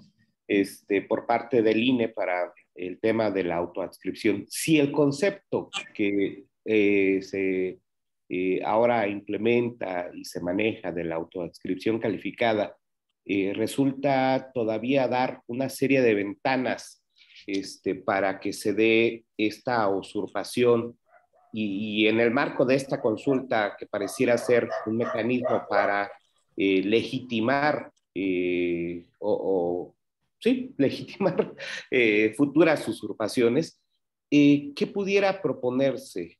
más que un concepto de autoadscripción calificada, o sea, no, no, estoy diciendo dejarlo a un lado, sino adicional a este concepto de autoadscripción calificada, tendría que existir este, forzosamente eh, eh, este vínculo comunitario? ¿Qué, cómo, pudiera plantearse garantizar que exista ese, ese vínculo comunitario? Y quizá la lengua no sea, decías hace rato, no sea eh, un, elemento porque puede impugnarse, pero pues, como también este, se ha escuchado, pues, si a alguien le interesa, pues mínimo que aprenda la lengua para saber, eh, para entender eh, eh, a los que quiere representar, ¿no? Y, porque la forma de expresarse en la propia lengua es, es este, más bien la posibilidad de expresarse con claridad, con mayor soltura en la propia lengua es diferente, ¿no? A la que se tiene cuando se obliga a que se expresen en una lengua ajena a su cultura. No sé, ¿qué, qué, qué, ¿qué pudiera este, eh, plantearse a las autoridades, ¿Qué pudiera construirse un nuevo concepto, si es que es necesario un nuevo concepto, o qué condición se, tendría que dar para que no se esté este, dando esta serie de, usurpaciones, ¿no? No vamos a entrar en, el tema de eh, si la consulta que estás haciendo ahora es, es pertinente o impertinente, no sé, sino más bien, ¿qué pudiera eh, ponerse como un candado efectivo? Muchas gracias. Gracias, David. Gracias, David. Este, yo pienso, muchas gracias por todas las intervenciones. Yo pienso que por lo menos comenzar quitando candados. Un candado que hay que quitar es la secrecía de las candidaturas. Es muy vergonzoso que el propio tribunal haya, eh, tenga un resolutivo que protege a los candidatos de las acciones afirmativas, de las varias acciones afirmativas, que hay varias, este, eh, que no tienen que anunciarlo. ¿Por qué? Y además uno solicita información, yo lo he hecho desde el 2018, yo solicité información, vengo por, por, este, por los procedimientos legales a conocer el expediente del candidato y candidata, qué es lo que está diciendo, cómo valida su, este, su autoascripción y nunca me lo permitieron porque son datos personales. Eso, ese candado tiene que quitarse. Primero. Segundo, eh, hay otro problema de carácter legal que resulta que los candidatos como el Rubio que mencionaba, eh, el, diputado Rubio que mencionaba este, la pasara presidenta este, María Gloria, que, resulta que en la constitución, insólito, en la constitución quedó dicho que aquellos candidatos, aquellas personas que hayan sido diputadas y diputados en distritos indígenas no requerían probar que eran indígenas porque ya la mayoría de los votos los validaba. Tal fue el caso de este, Manuela López Obrador y de Rubio. Entonces resulta que ellos ya no tuvieron que volver a probar, aunque lo hicieron, eh, para el menos para el caso del diputado Rubio, él volvió a presentar la misma carta eh, este, eh, en, donde, en donde la constitución los protege. Y todavía yo fui a la consulta del INE y me preguntaron de manera informal, ¿usted piensa, me preguntó una persona, que los nuevos distritos los nuevos distritos indígenas en donde se van a, delimitar se puede implementar esta misma eh, reconocimiento de que como ya fue votado, pues en consecuencia ya es legítimo, ¿no? Entonces, este, obviamente que no, yo incluso dije que la reelección no es un principio de pueblos indígenas, pero es otra discusión. Pero quiero regresar a lo planteado del tema que es paradigmático del diputado Rubio, porque en efecto estamos frente a un fenómeno, que, como bien decía la pasada presidenta, que él este, era un funcionario de muy alto rango de Manuel Velasco, este, fue, fue, fue, él recibió el aval de una comunidad, la comunidad de un ejido, el ejido Jerusalén, del municipio de Las Margaritas. Y lo que resulta insólito es que en la narrativa de la carta diga que él es un ciudadano y no solo eso, que es presidente del comité de padres de familia de ese ejido. Entonces, ¿por qué es paradigmático? Primero, porque se impuso. No fue resultado de una ni siquiera consulta, porque ya vimos que en este país las consultas no cumplen con todo este estándar que ya mencionó David, sino son eh, imposiciones de los partidos. Segundo, que hay una, y yo quiero llamar allí la atención, hay una corrupción de parte de los ejidos y comunidades, quienes dan constancias a personas que no son originarias de la comunidad, que en este caso el señor Rubio, ¿cómo puede ser presidente de la Sociedad de Padres de Familia de la propia comunidad, que tiene cargo? Hay corrupción. ¿De quiénes? De las propias comunidades. Entonces hay que ser muy vigilantes. Les corresponde a los pueblos indígenas vigilar. Hay una parte que hay que la ley tiene que modificarse. Yo estoy en total desacuerdo con este contenido de lo que dice la Constitución de que protege o, ya vamos, ya fueron electos y está, se valida, como es el caso, estos dos casos que mencioné. Entonces, bueno, yo pienso que por allí avanzar. Y también por el otro lado, y lo subrayo en la lámina que está eh, al frente, cuando pongo por los tiempos, ese, ese rojito que está ahí.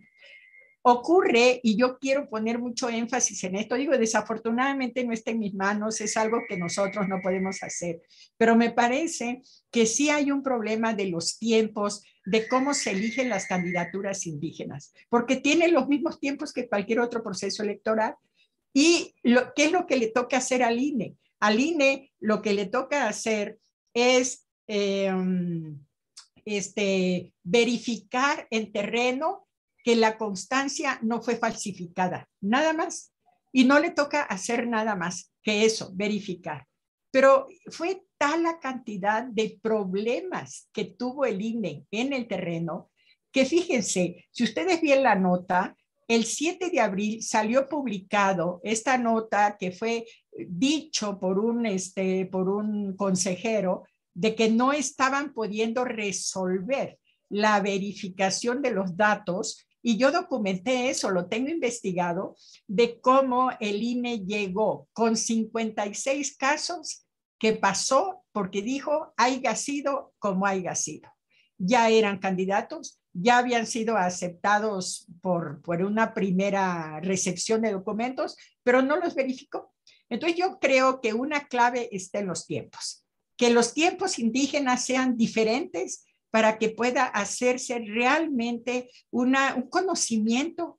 A lo mejor no va a poder ser posible la consulta respecto al candidato, pero sí un conocimiento, que salgan del closet, que se sepa quiénes son, que no tengan la garantía del distrito por sí, per se, y es tan grave el caso del diputado Rubio que cómo es posible que, que un ejido celtal en una mayoría eh, eh, indígena tojolabal, haya entregado una diputación a este, de un distrito indígena y que además le correspondía a una mujer, bien lo dice la, este, la pasada presidenta, ese distrito le correspondía a una mujer, ¿por qué se la dieron a un hombre?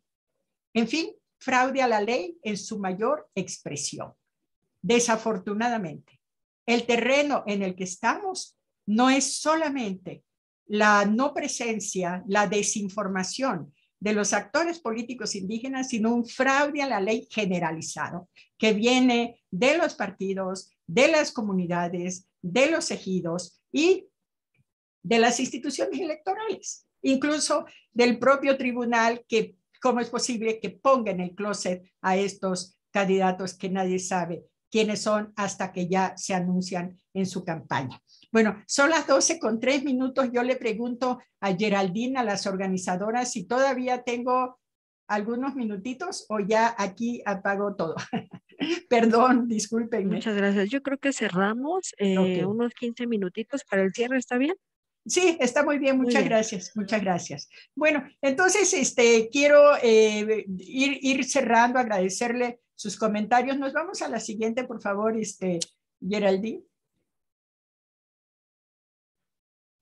Ah, ya, ya no iba, a, bueno, lo voy a mencionar solamente, que este problema del fraude a la ley, fíjense que en este 2021 también hubo otras acciones afirmativas. Hubo acciones afirmativas de personas afromexicanas y efectivamente yo escuché a, este, a Mijane en toda la frustración de la usurpación, personas que iban a la playa se ponían bronceadas, se enchinaban el pelo para aparecer como si fueran este, eh, afromexicanos, eh, personas que, que falsificaban, eh, que eran personas con discapacidad, porque les cayó el 20 que habría que incorporar y decir personas con discapacidad permanente para que la cosa tuviera un valor legal y no solamente porque ayer me quebré el pie y hoy camino con muletas.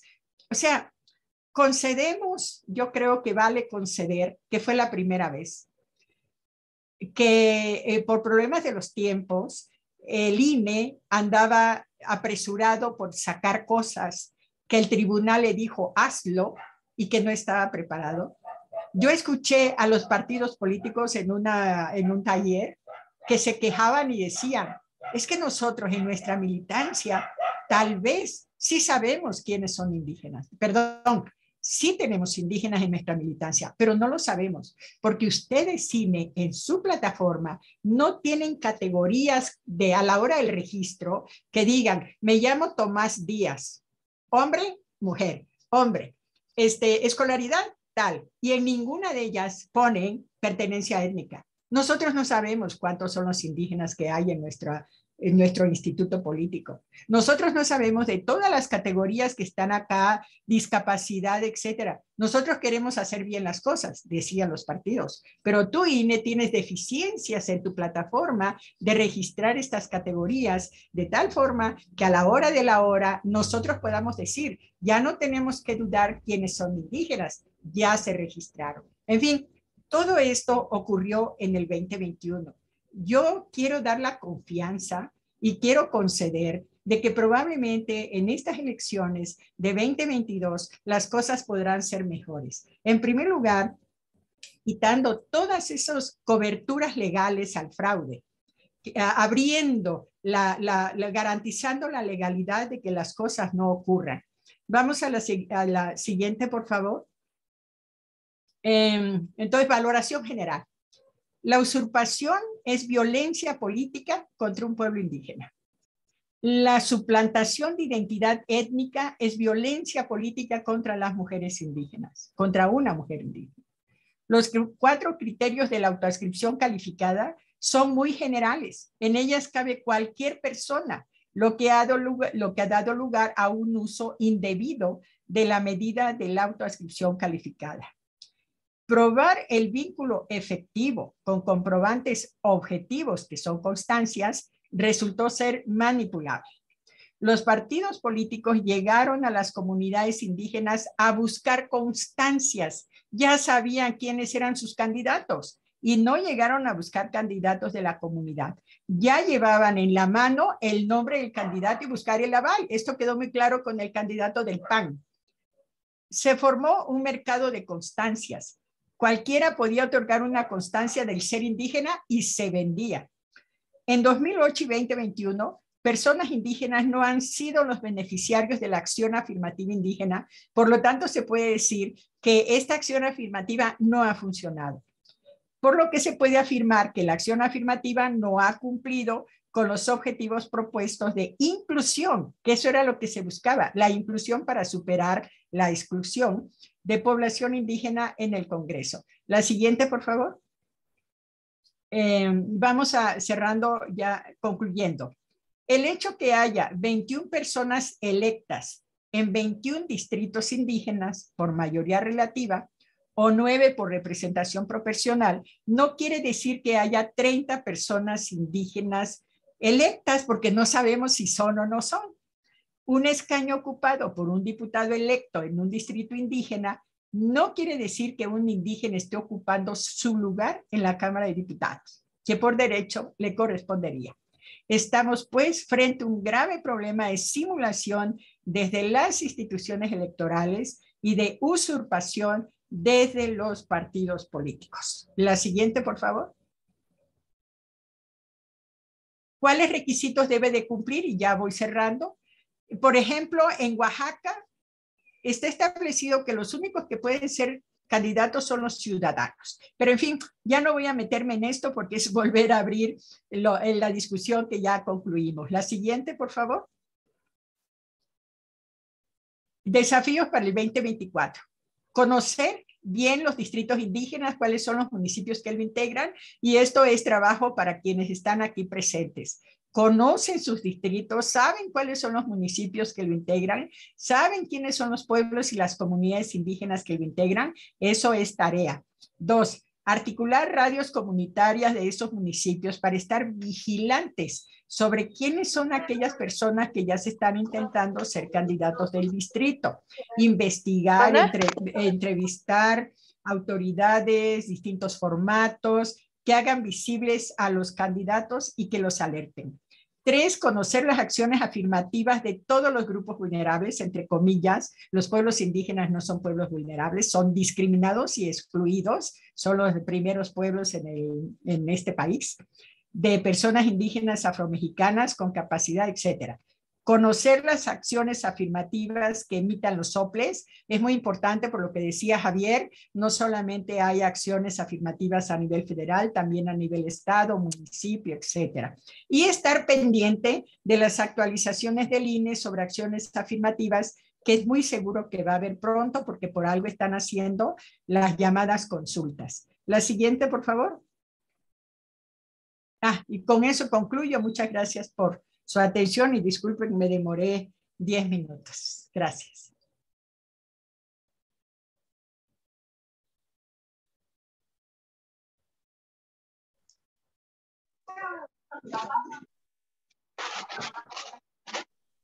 Muchas gracias, muchas gracias. Un abrazo a todas y a todos.